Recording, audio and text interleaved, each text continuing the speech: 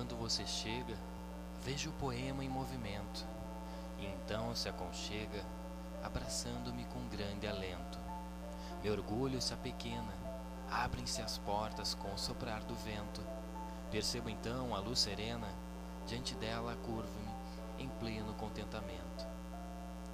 Quando você se vai, é outra cena. Tão logo sai, me arrebento. Então tomo meu mate e o peito se queima. As portas se fecham com o vento. Sinto o amargo da saudade. Ouço o silenciar de quem teima em fingir ser independente. Uma incompletude que cria um dilema. Distancio-me do amor para não sofrer tão duramente, ou convido-o para que resida comigo para sempre, abdicando de momentos só meus, que até então valiam tanto, numa ânsia de também serem seus, ser sozinho já não traz aquele encanto.